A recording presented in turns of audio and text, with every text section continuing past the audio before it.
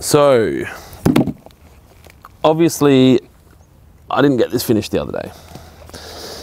Um, I have since found Lucy's shovel, which is really cool. Where did I put that? It's important to have the right tools for the job.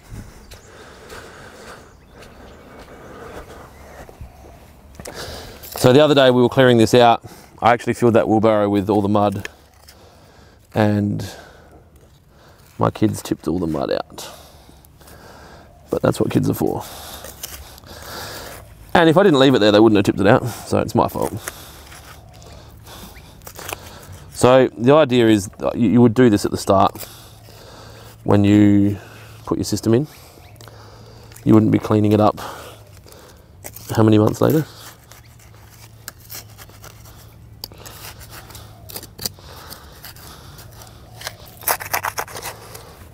Now, if you had a trenching shovel, you'd probably be able to do this a lot quicker. But I don't have a trenching shovel. And a lot of guys and girls at home wouldn't have a trenching shovel, so they're not going to have all the tools t- there to do this. So do the best you can. And see the soil's quite moist. This valve box hole has basically been a, a dam for any time it rains, all the water just ends up in here.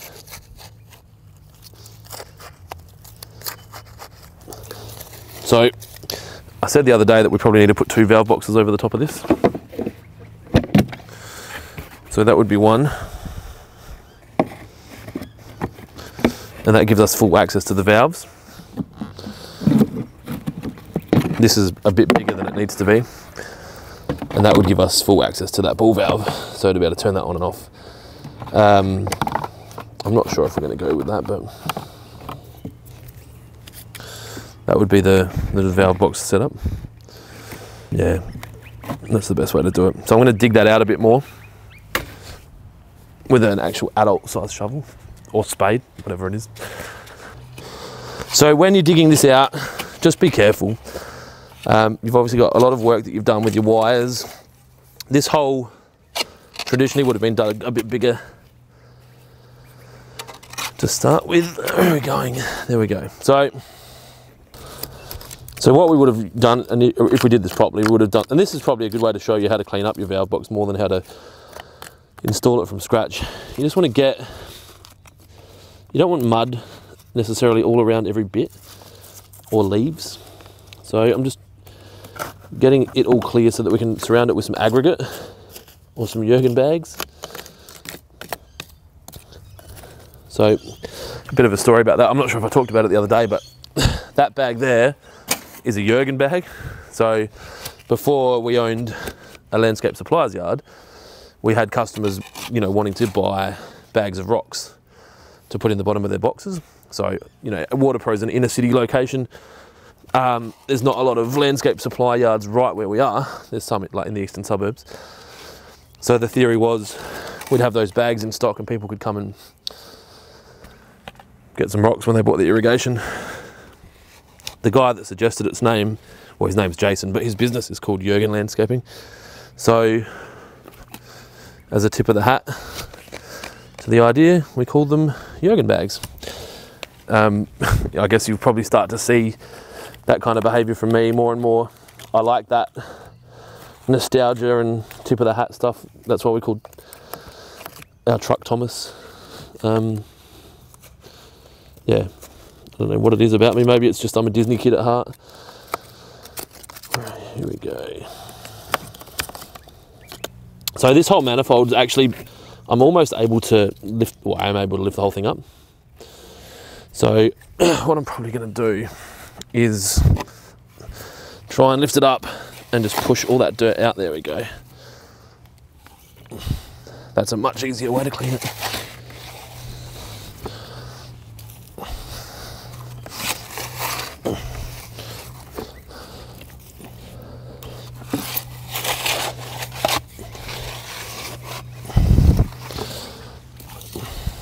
So that's all in a in a position that we could probably tip those Jurgen rocks in.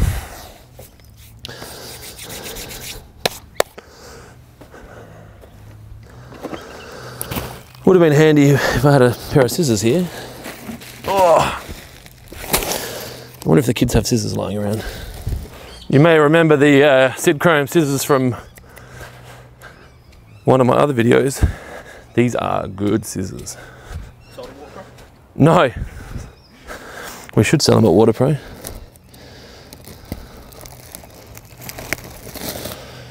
All right.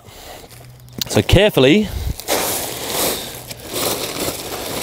you want to fill up that void, but not overfill it.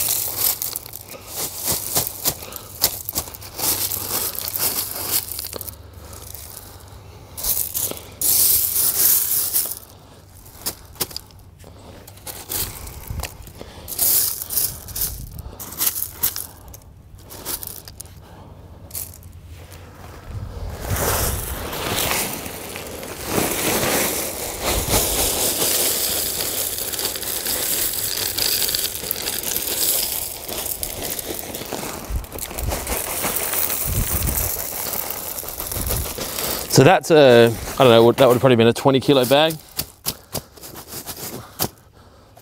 And that fills that pretty well. So then we can just place that over the, the box once every, everything's in there. At the moment, that's sitting quite high. The reason it's quite high is the, the pipes on the other side of it. So if we can, we kind of, you know, if we can get the, the back of that we'll be at a point where we could mulch up to it. Uh, in a, a situation where you don't want to see the valve box at all, you could actually sit it lower than the level of the soil and cover the, the valve box lid with mulch. I'm not going to do that here because I don't care about seeing the valve box, uh, especially considering we make so much content. I want to be able to access it if we need to. So we'll mark some holes and we'll cut them out. When you're cutting a valve box, you don't want to cut more than you need, otherwise you're going to get the risk of that dirt ingressing the valve box. So um,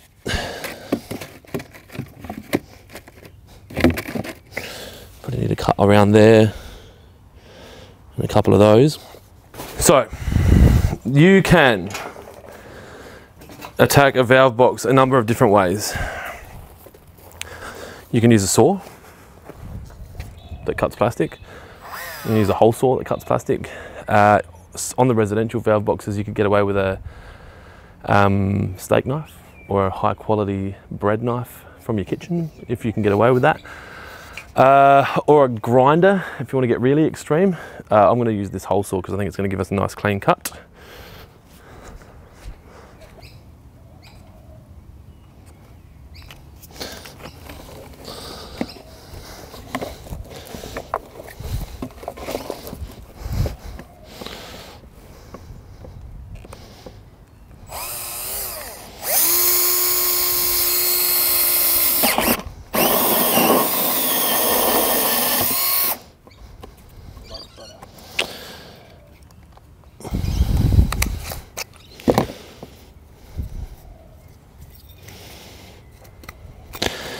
You want to get the plastic from a hole saw out pretty much straight away if you can. Um, sometimes they'll get hot if you've cut a lot and they'll kind of melt and get stuck. So that's going to fall down over that. And then we're going to do one on there, there, there, there.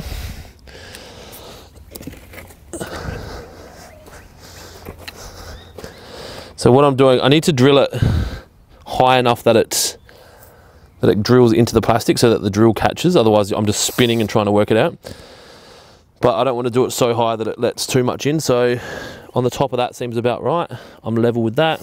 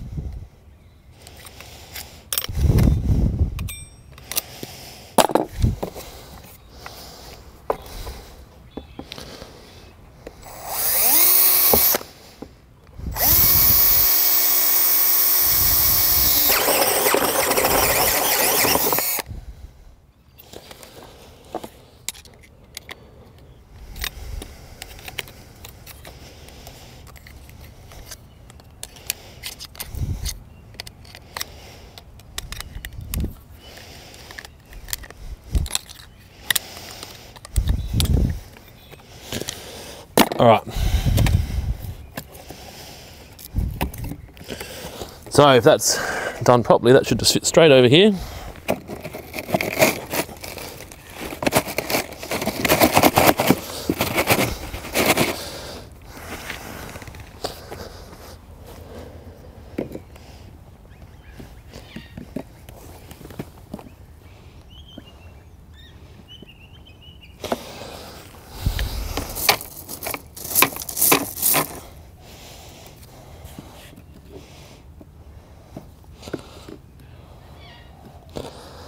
Now you'll see those coils are sitting quite high. This is a manual turning off and on assistance tool, not required. Uh, we might need to raise the box a little bit so that the lid fits over those solenoid valves.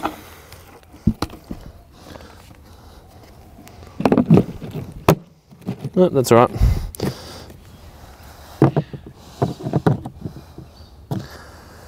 And that's that. So, in a commercial situation, you'd backfill, you'd put plastic around here to stop anything getting in the in the valve box. I don't think we need to do that here. Uh, that looks like it might sit high, but once we get more mulch down here, it's going to be all good. Uh, I've got a few more rocks available, but I might just backfill a little bit of sand in first, and then we'll just tip some more rocks in there. Or sand, whatever that is.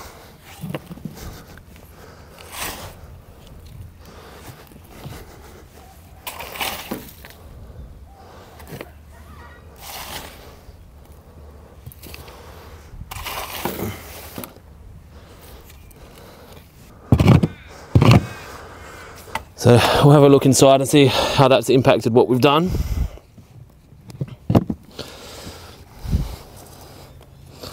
Not too bad.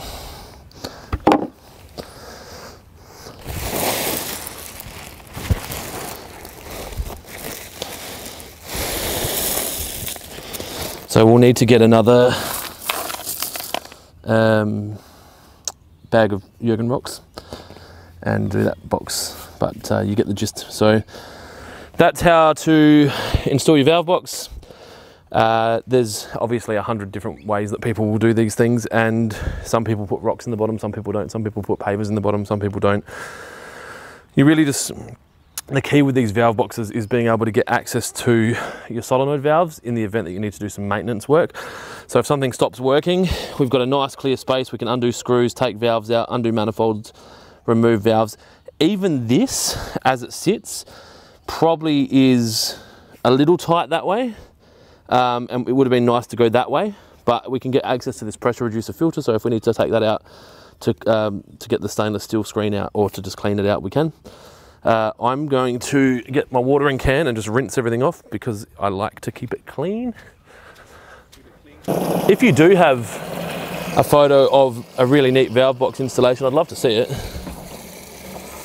Um, send it into our Facebook or to our Instagram. We're at WaterProAU.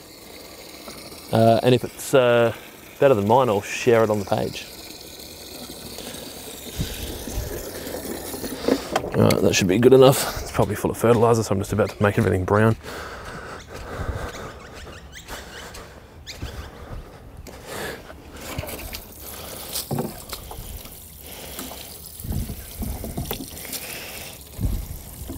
So that's obviously all waterproof, so what I'm doing is not doing anything, any harm. And there you go, you have a new looking valve box. That's it. Um, I hope you've enjoyed this. This is pretty much the end of the series of the irrigation as an installation process at my house. Uh, there's obviously going to be maintenance throughout the life of the irrigation. Um, so yeah, if you've enjoyed this, make sure you subscribe to the channel. Um, yeah, we're going to bring more of it. I'm not sure whose house we're going to be at next, um, but we, we're hoping that, uh, yeah, Duffy's house. We're going to irrigate his rental property. uh, yeah, when Duffy buys a place, we'll go there and irrigate it.